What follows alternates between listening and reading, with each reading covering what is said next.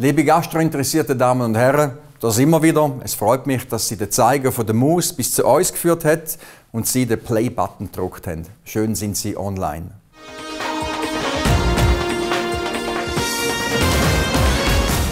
Pop-up. Mehr Sein als Schein. Hinter dem Namen Negroni verbirgt sich eine attraktive Pop-up-Bar, die nur für eine beschränkte Zeit geöffnet ist. Fill Up. Einweihung des neuen Coca-Cola Visitor Centers mit High-Speed PET-Apfelanlage in Dietlikon. Line-Up. An der Bahnhofstraße in Zürich präsentieren renommierte Winzer Türe an Türe ausgelesene Weine in Luxusboutiquen.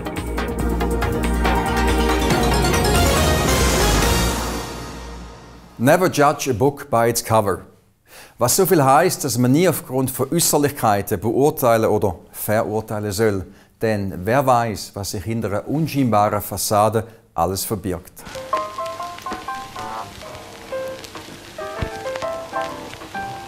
Der Schein trügt. Was von außen aussieht wie ein Gemischtwarenladen zu Großmutters Zeiten, ist in Wirklichkeit eine Bar. Genauer ausgedrückt, eine Pop-up-Bar, die nur für einen Monat geöffnet ist. Hinter der Pop-up-Bar mit dem verlockenden Namen Negroni verbirgt sich das Unternehmen Campari. Auf der einen Seite ist Pop-up ein sehr begehrtes Konzept in Zürich, das ein bisschen immer die Neugier unserer Konsumenten irgendwie aufweckt.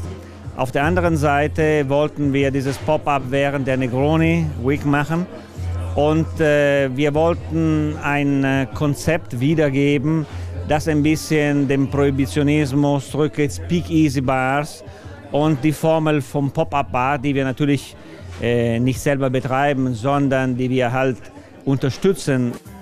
Negroni ist ein Cocktail, der nach einem italienischen Grafen benannt wurde und in den 20er Jahren in Florenz erfunden wurde. Also genau zu jener Zeit, als der Verkauf und Handel von Alkohol in den USA landesweit verboten war. Wegen der Prohibition schossen die sogenannten Flüsterkneipen wie Pilze aus dem Boden. Getarnte Bars, die von außen nicht als solche zu erkennen waren.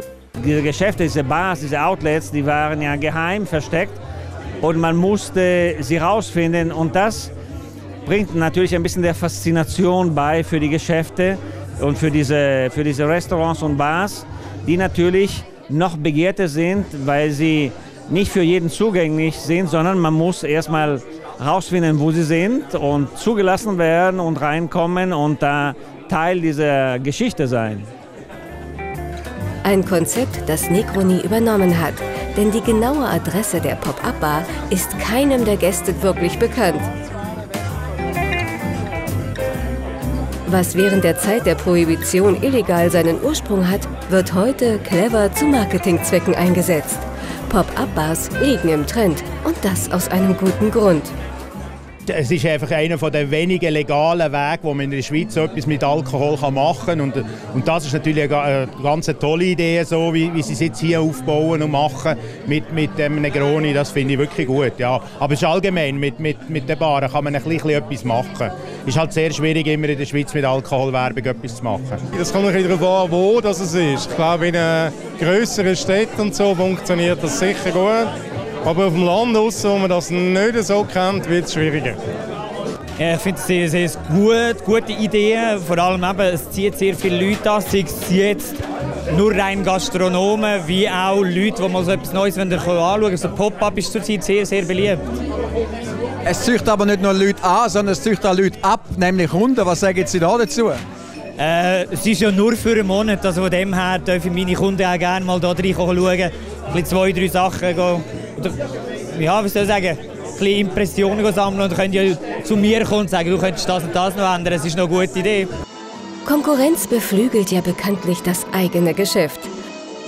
Zu einem Konzept, das in den 20er Jahren geboren wurde, gehört auch Unterhaltung, die ebenfalls aus dieser Zeit gründet. Unterhaltungstheater der erotischen Art, auch bekannt als Burlesque-Tanz. Diese Show wird jeweils am Freitag und am Samstag geboten.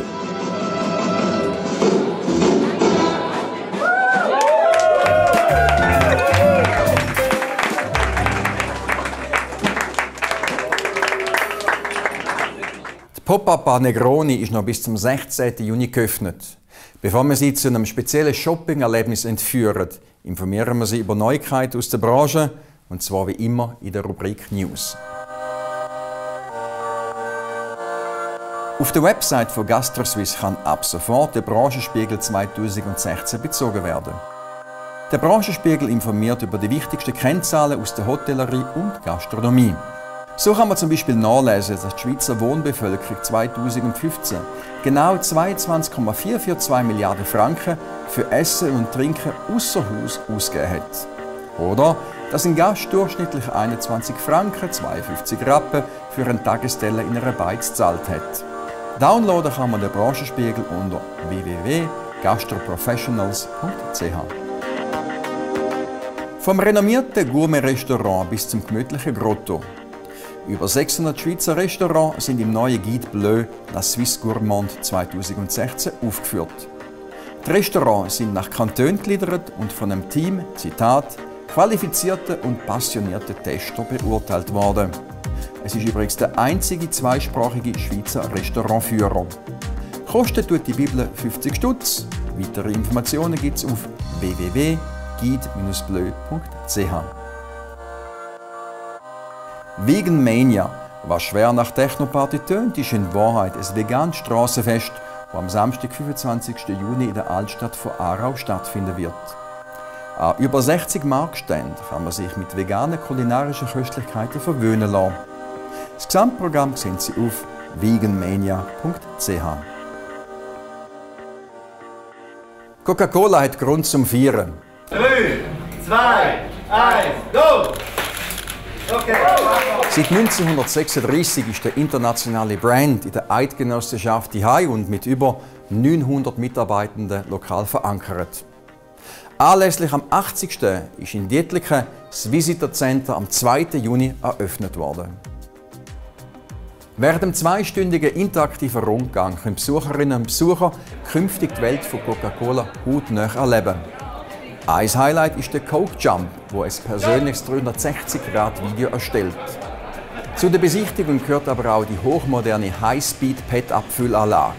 Und die hat es in sich. Also die neue High-Speed-PET-Linie, das ist das Neueste, was die Technologie momentan zu bieten hat. Das war eine Investition in den Schweizer Werksplatz von rund 18 Millionen Schweizer Franken.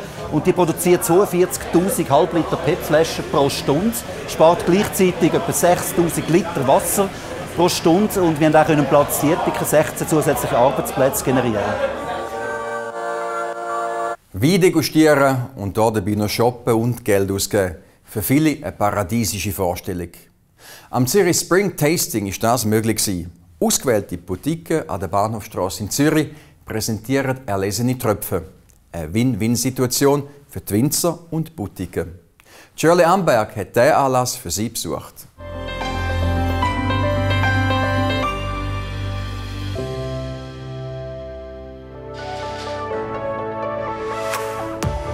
Den Wein an einem breiten Publikum im Privatkundensegment präsentieren. Und das an einem Ort, wo Getränke in der Regel nicht willkommen sind. Das ist die Idee hinter der Veranstaltung Zurich Spring Tasting. Eine Degustation auf exklusivem Terrain, wie zum Beispiel hier im Burberrys. Oder im Grieder, wo ein Wein aus der Bündner Herrschaft angeboten wird.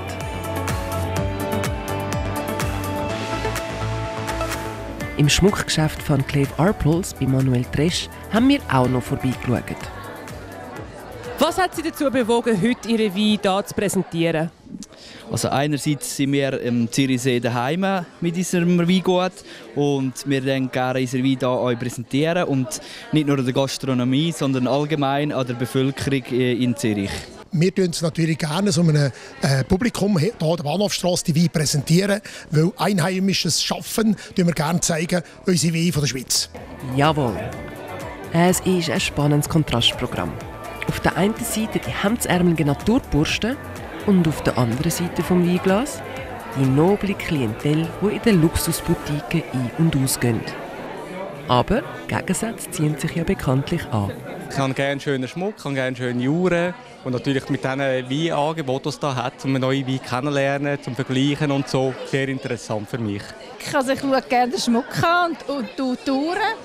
Genau, also ich bin primär da für den Wein, aber auch wegen den Uhren und ja, wegen gutem Essen und der Stimmung, ja. Warum sind Sie heute Abend da? Wegen dem Schmuck oder wegen dem Wein? Wegen dem Schmuck, wegen dem Wein und wegen der Fashion. Und ich glaube, jeder Mann hat so, sowas gern. Es ist ja nur eine Geldfrage. Nein, nicht nur. Es ist vor allem eine Frage vom guten Geschmack und dem Verständnis für die edlen Tröpfe. Haben die Kunden da dann überhaupt eine Ahnung vom Wein? Teils, teils. Es hat Leute, die sehr Wein interessiert sind und sich auch Fragen gestellt haben. Es hat eine Diskussion gegeben. Und dann hat es halt wieder Leute, die einfach gekommen sind, um ein Glas Wein zu trinken, um mit den Leuten ein bisschen schwätzen untereinander. Und, aber es ist sehr gutes Publikum. Gewesen. Und es gibt Haufen Kunden, die haben Ahnung von Wein und äh, äh, diskutieren mit uns. Das ist sehr interessant. Manchmal weiß man es nicht genau, ob sie eine Ahnung haben oder nur so trennt, aber äh, sie sind sehr interessiert und fragen da und von dem her ist es sicher äh, für uns gut und für sie ist es auch eine sehr, sehr eine gute Sache. Ja.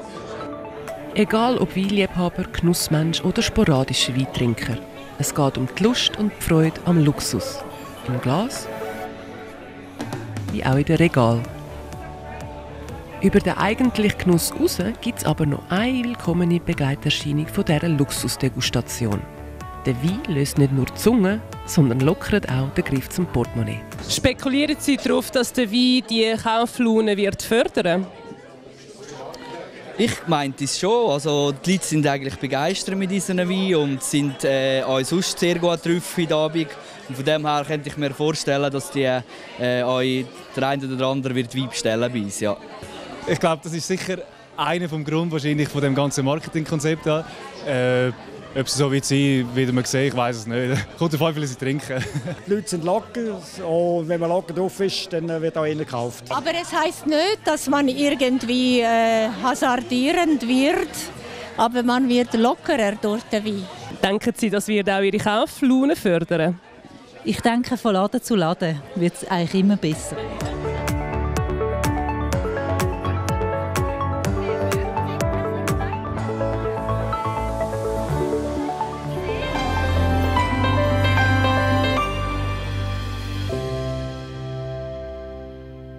Ja, meine Damen und Herren, eine kompakte Sendung «Bester Swiss Gastro bewegt» neigt sich langsam am Ende zu.